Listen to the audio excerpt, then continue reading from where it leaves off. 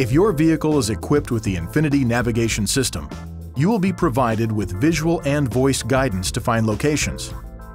The Infiniti navigation system uses the Global Positioning System, or GPS, to determine the best course for the driver to take to a preferred address.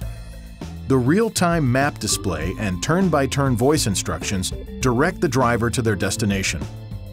To use the navigation system to take you to a destination, follow these steps. Press the destination button. The settings available to you include Street Address, which searches for a destination by address. Places, which searches for a destination from various categories of businesses or locations. Address Book, that searches for a destination from the list of the stored locations you have previously entered. For a complete list of available settings, please refer to your navigation system owner's manual. One of the most common reasons to use the navigation system is to locate an address. Here are the actions you'll need to take.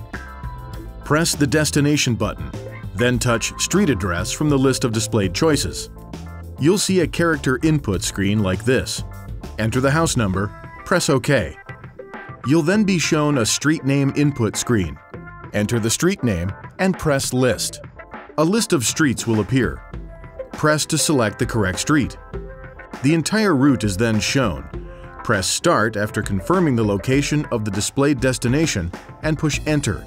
The system sets the destination and calculates a route.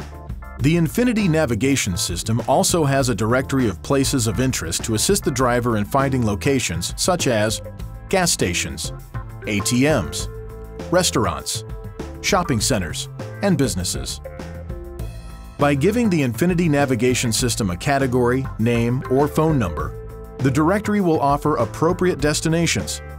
After you select the desired place, the system will calculate a route to that destination.